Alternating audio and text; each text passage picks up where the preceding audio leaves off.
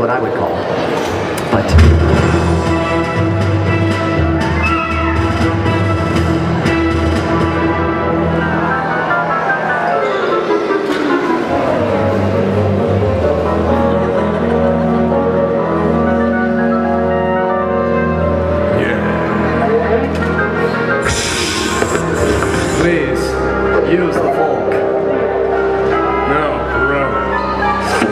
Eating that won't help James's voice, Fred. Let it go. Let it go. You've turned James's voice against me. You have done that yourself.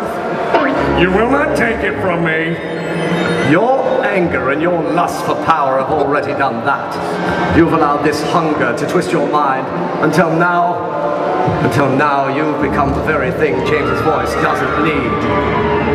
Don't lecture me, Obi.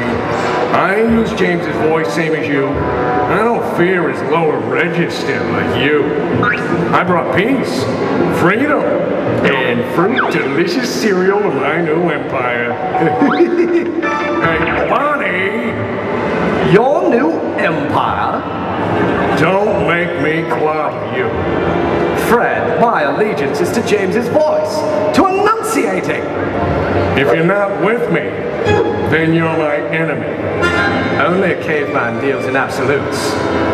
I shall do what I must. You will try.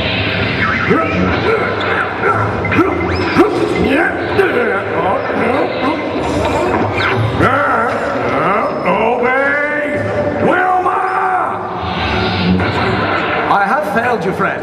I have failed you. I should have known you were plotting to take over James's voice. Fred, James's voice is to be shared. From my point of view, there's no room to share. Well, then you are lost. This is the end for you, Obi Schmoby. It's over, Fred. I have the high ground. You underestimate my power. Don't try it. Hmm.